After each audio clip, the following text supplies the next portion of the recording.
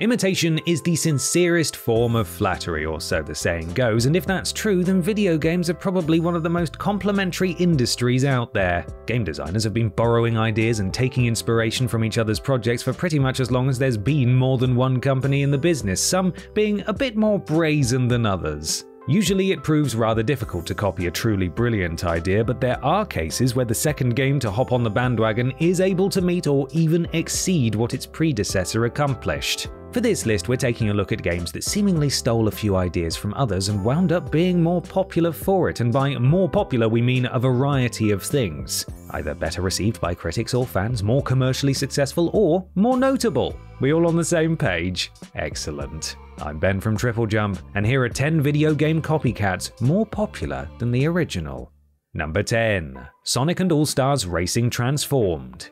The rivalry between Mario and Sonic is so long and storied that it's practically gospel within the gaming community and certainly needs no introduction from me. Despite Sonic being dubbed the fastest thing alive, it's Mario who rules the road as far as racing games go, and Mario Kart 7 sought to widen the lead by introducing new forms of vehicular shenanigans, including underwater tracks and gliders for aerial segments. Sonic and All-Stars Racing Transformed, released only a year later, seemed to run with the same idea by giving cars the ability to transform into boats and planes mid-race. While both games reviewed about the same, settling around the mid 80s on Metacritic, Mario Kart 7 was more polarizing due to its odd decisions like the lack of a single player versus mode and a questionable roster with some glaring omissions. On the flip side, Sonic and All Stars was received with much more universal warmth for its robust single player mode, extensive multiplayer options, and a roster that was notable more for strange inclusions rather than exclusions. With more installments having since been released in both series, Mario Kart 7 is now considered a bit of a black sheep, whilst Sonic and All Stars is considered the peak of its own franchise.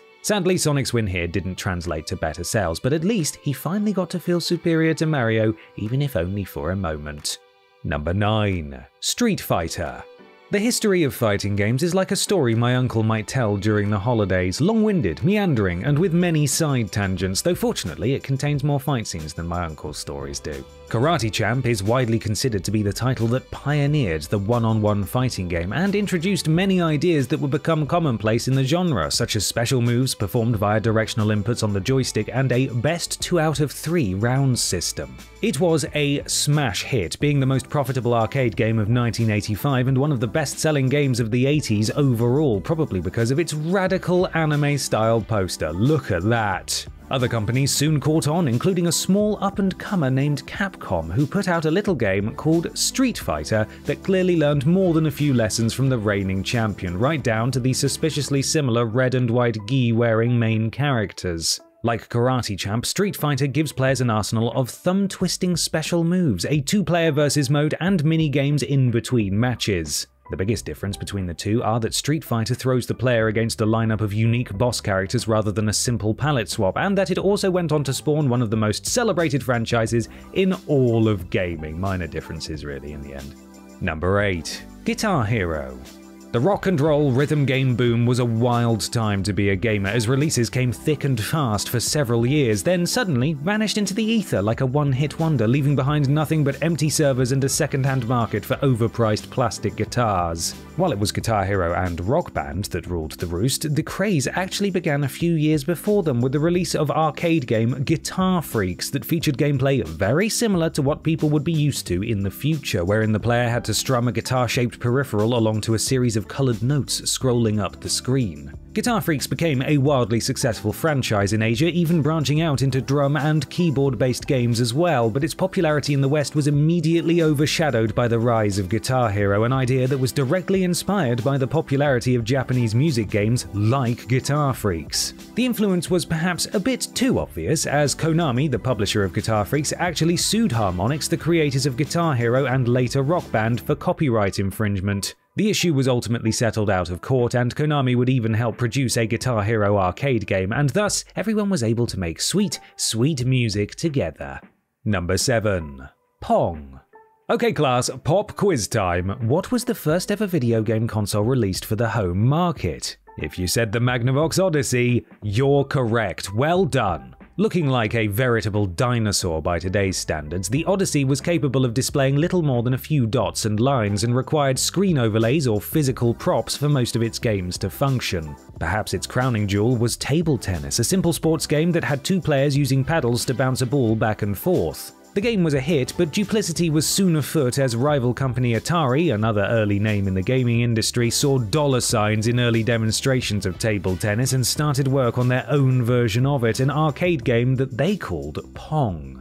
Pong was obviously a roaring success, but Magnavox took notice of their suspiciously similar competitor and slapped Atari with a copyright infringement lawsuit. Atari settled out of court with a licensing agreement, but many other companies, including giants like Nintendo themselves, lost their court battles against the litigious Magnavox well into the 90s when their copyrights lapsed. With the dust finally settled, it's been estimated that Magnavox made over $100 million just from table tennis lawsuits alone. That's one way to squeeze money out of a good idea. Number 6. Carmageddon. Ever since mankind first invented cars, we have been burdened with the inescapable urge to smash them into each other. This has given rise to many great innovations like bumper cars and demolition derbies and culminated with the creation of car combat video games. Twisted Metal is an absolute classic for the PlayStation and a beloved mainstay of late night multiplayer sessions spent blowing each other into scrap metal with an arsenal of deadly weapons. Just some good, clean fun for the whole family. Similar games became a bit of a fad after that, though most of them aren't worth talking about, except maybe for just how weird they could get. Carmageddon, which gets an A plus from me for the name alone, is the exception. It came out less than two years after Twisted Metal, and while it steered away from the arena based setup, its similar penchant for gratuitous violence was undeniable. While you can ostensibly win in Carmageddon by simply being the first to cross the finish line, you also have the option of winning by wiping out your opponents or ploughing through the most pedestrians. Both provided an excellent source of motorized mayhem, but Carmageddon zoomed past Twisted Metal in the review scores and even today is cited by many as the superior of the two. Number 5. Streets of Rage.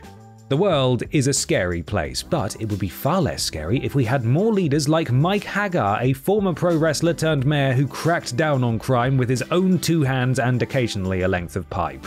Sadly, this is not the case, but it's a cracking good setup for a game, and thus, Final Fight quickly became a quarter munching sensation among arcade gamers who were drawn to the game's memorable characters and frenetic co op action. Unfortunately, those same fans were left in the cold by a shoddy home port for the SNES that removed several levels, characters, and even multiplayer. Enter Streets of Rage, another beat 'em up game that took more than a little inspiration from Final Fight while still being very much its own beast with flashier moves to pull off and a soundtrack that wouldn't be out of place at a rave. Despite a few eyebrow raising similarities, there was no question as to which game provided the better home console experience. While both series maintain strong and well deserved legacies among fisticuff fans to this day, Streets of Rage is the series that's receiving modern revivals and movie deals, while Final Fight devotees have had to make do with lackluster reboots and a few sparse cameos. Number 4. Call of Duty War.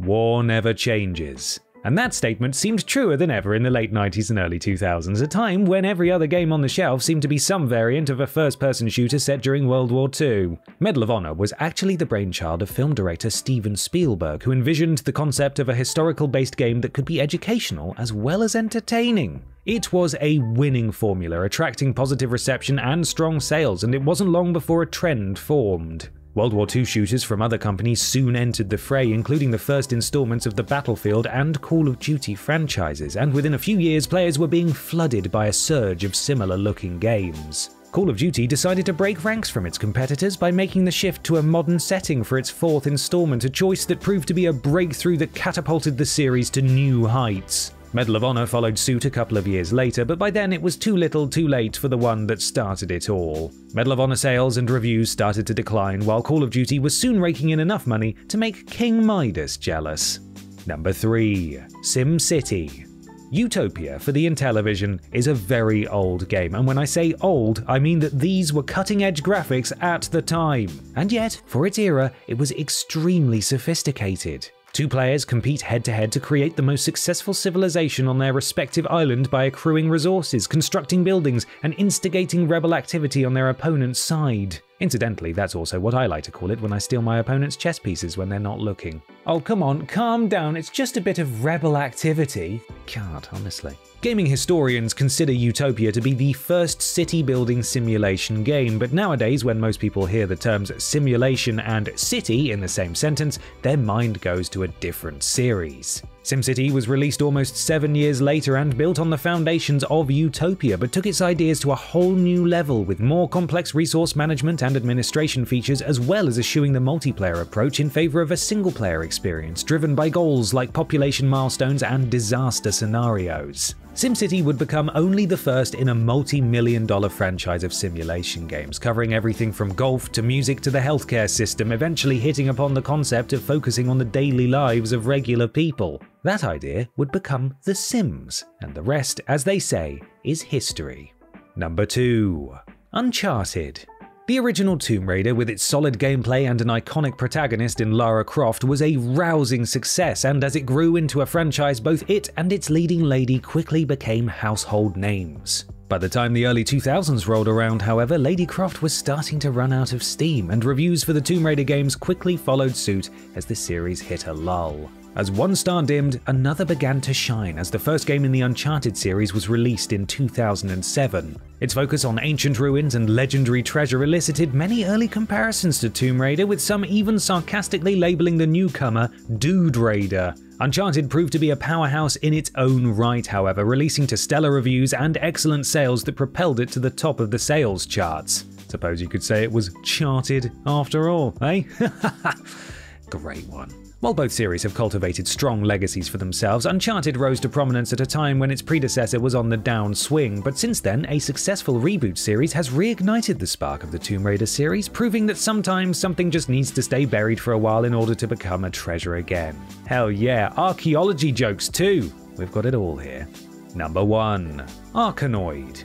In a truly ironic twist of fate, Atari's own successful copycat, Pong, ended up becoming so popular that it spawned its own wave of copycats. In an effort to beat back the threat of market oversaturation, Pong was forced to evolve. Atari released a fresh slew of spin offs and follow ups, the most promising of which was Breakout, a single player Pong variant that focused on bouncing the ball against a wall of blocks with the goal of destroying them all. Seriously, if I have to explain the gameplay of Breakout to you, you're probably too young to be watching this video. Breakout was a big success, but the series went dormant for a few years until Taito decided to break in with their own clone of Breakout known as Arkanoid, whose core gameplay was essentially the same except for one key addition that would change everything lasers. The formula was a hit all over again, wowing a new generation with flashy graphics and enhanced gameplay, ultimately going on to outshine its predecessor to the point that future takes came to be known as Arkanoid clones more often than Breakout clones. If there's one thing to learn from this story, however, it's that what goes around always ends up coming back around in the end.